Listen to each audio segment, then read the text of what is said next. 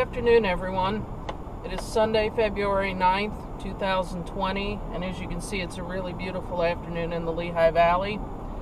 We've had some lousy weather over the past week, a lot of rain, but thank goodness it was rain because if it was snow, I don't even think I'd be leaving the house. We'd probably be driving through 10 feet of this stuff. Um, today, I'm just going out for some errands, nothing exciting, but I figured I'd drive a little bit out of the way because I've noticed some construction projects and some demolition projects in my part of the Lehigh Valley over the last week or two, and uh, this is my first chance to actually get out in the decent weather to do some filming. And um, two of these are follow ups to uh, videos I did in the early days of the channel. So I figured I'd just give you a quick little follow up while I'm on my way down to the Bethlehem Allentown area so this will be edited. I'm not going to show you the full drive. We'll just uh, jump ahead to the interesting parts. Our first project is coming up here on the right side at the stop sign. Uh, you'll remember early last year there was a devastating fire at the Seemsville Pub and Tavern, or Seemsville Pub and Grill. I always want to call it the Seemsville Tavern. The old building was completely torn down, and what you're looking at now is the new one going up. I'm going to circle around and give us a couple different views. Okay, so we're coming up on our second view of the new Seemsville Pub and Grill approaching from the north. Uh, we're heading south towards Bethlehem. You can see it there on the corner. It's looking really good. I heard in the local news recently that they're going to be starting the interior work. I do not know the opening date, but a lot of people in this area are really looking forward to it. I'm really glad they were able to rebuild after the fire, and I'm really looking forward to checking it out. I'll let you know what it's like when I do. Okay, we're heading west now. This is probably uh, the view of Seemsville Pub and Grill. This is probably the approach that'll give you the best view. Coming up on that four-way stop that you always see, and you can see the new building ahead. I know they've got a lot of the exterior done. Uh, last I heard in the news, they were going to start working on the interior soon. It's looking pretty good from here. I'm not sure when it's going to open, but I am looking forward to it.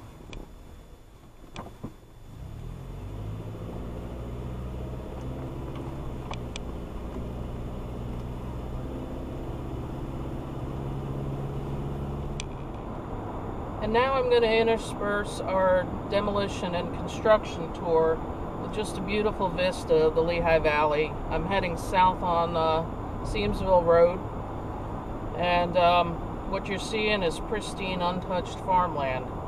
Unfortunately, it's not going to stay like that much longer.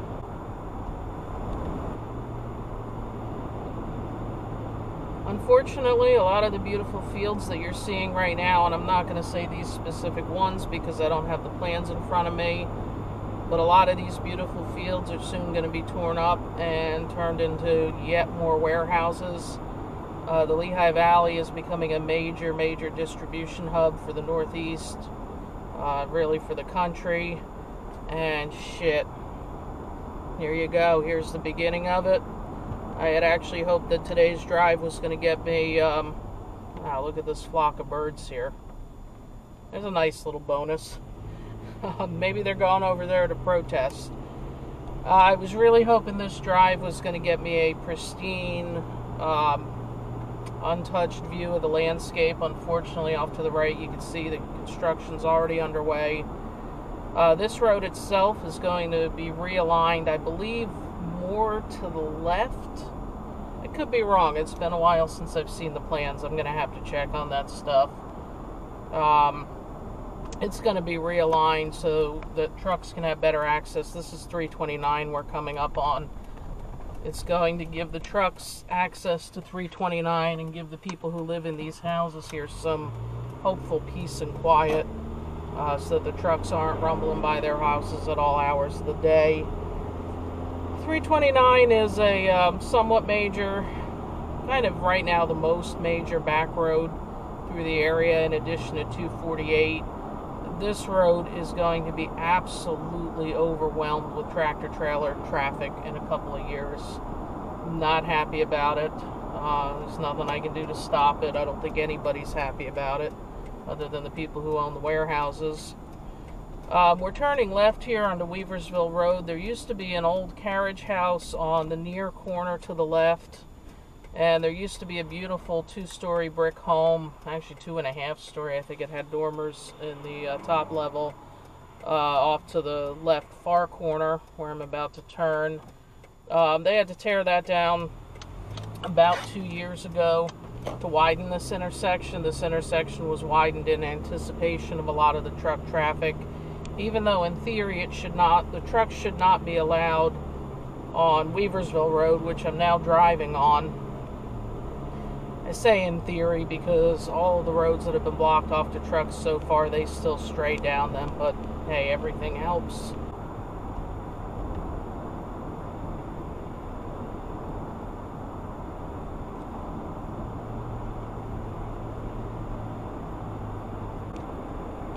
Anyway, I am still planning a longer series on the changes coming to the Lehigh Valley with the warehouses. I did do a lot of driving a year ago to capture some, I should say a lot of the untouched land. I don't believe Seemsville Road was one of them, but I hope I'm wrong when I go back and review the footage. We'll find out. For now, I'm going to jump ahead to our next site.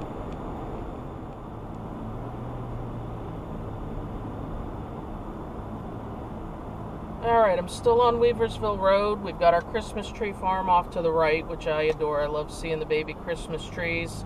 We're crossing the Norbath Rail Trail, and off to the left, and I do not remember the name of this facility.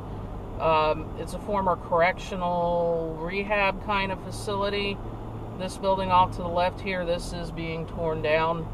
Uh, I hope to get a better view coming back. You can see off to the left the one wall being torn down. I don't know what's going to happen with this stone house on the corner. This is Colony Drive off to the left. I imagine that stone house is going to be coming down soon too. Heading north on Weaversville Road, passing the Colony Drive intersection, you can see coming up behind the stone house is the uh, remainder of the rehab facility. I forget its name. Uh, they've knocking, but they've been knocking down the south side of that for a couple of days now and uh, I imagine that's going to progress as the following week goes on and uh, if there's something to show you I'll put together another video.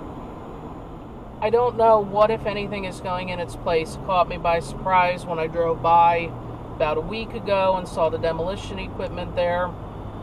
Um, I haven't heard of anything going up there. I haven't heard news of it coming down, but uh, we had, like I said, we had a week of rain and darkness, and I had some stuff after work several nights. Um, so that's that. This is another field off to the right that I believe is unfortunately doomed to warehouses. Just outside of view, there's already two warehouses. One you can't see. Well, you can't see either one. One, I don't know what it is. The other is the FedEx Mega Hub that everybody here loves to hate straight ahead. I love this little stone house that's blocked by the tree, and sadly, that's been collapsing over the years. Uh, the roof, every time I drive by, the roof is just a little bit more caved in, a little bit more, a little bit more, and I gotta imagine at some point they're gonna tear it down. It's gonna break my heart, but I'd rather see it torn down than spontaneously collapse into the road. So we'll see what happens. On to the next site. I think you're gonna like this next one.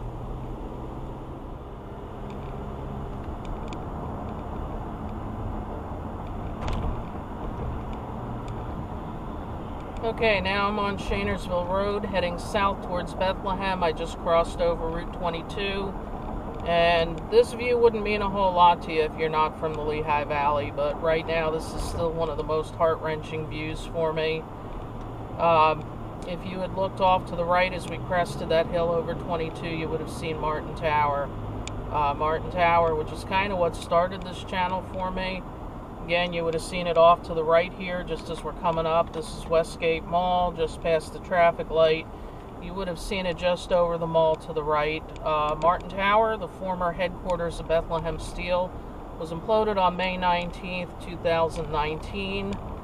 Uh, as much as I love building demolitions and implosions, I really hated to see that tower go down. I really loved that building.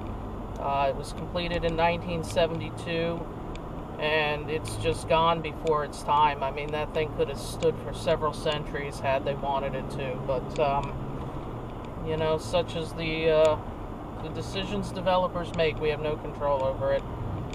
Anyway, you probably guess where I'm headed. See you there. And now we're turning onto 8th Avenue, and just up ahead to the left, Martin Tower would have been filling the sky. And it still hurts to see it gone. I'm not going to get tired of saying that anytime soon. Uh, I'm coming down here today just really to check on the rubble pile. I hear there's not much left. It's been a slow cleanup. They've been recycling a lot of the concrete. Help if they use some of it to fix the road there. But I'm going to turn in and we're going to have a look.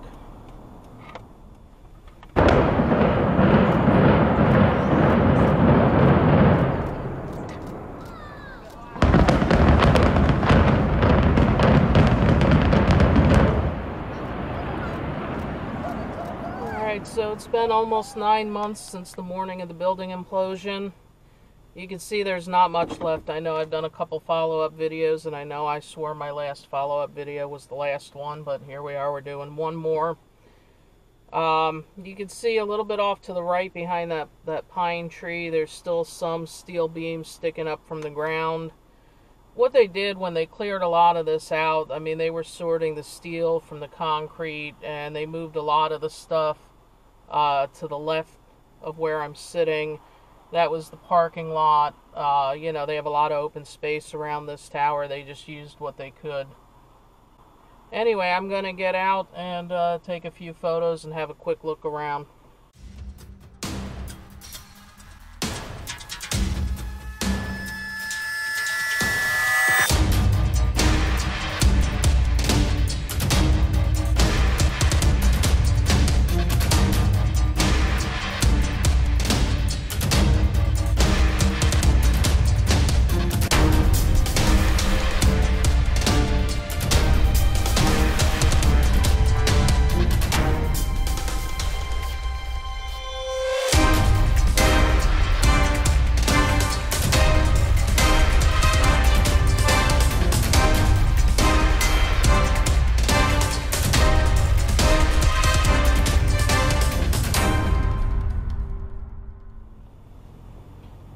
As you've seen, there's really not much left. I imagine this cleanup will be done sometime in the spring.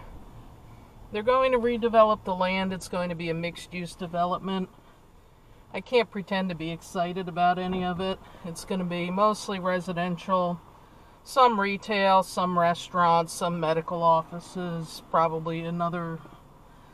Sorry, I'm kind of looking off to my side here trying to pull into traffic. I don't know if that's affecting the sound. Okay, we're underway. Um, yeah, just going to be a pretty typical little development. Um, I know they say with the growth of business in the Lehigh Valley, there's starting to be a bit of a housing crunch. I wouldn't say an actual shortage, but a lot of people are crying about the affordability. I'm not sure where the new development falls. Um, on the spectrum, but I think it is going to be some apartments, townhomes, so probably some good entry level stuff. But um, again, nothing I'm particularly enthused about. All right, well, thank you for riding with me. Uh, as far as I can tell, that's all I've got to show you today.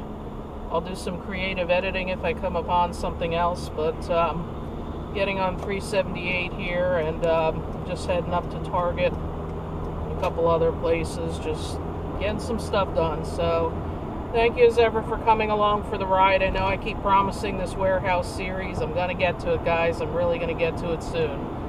So have a wonderful weekend and stay tuned for more. Thank you for watching.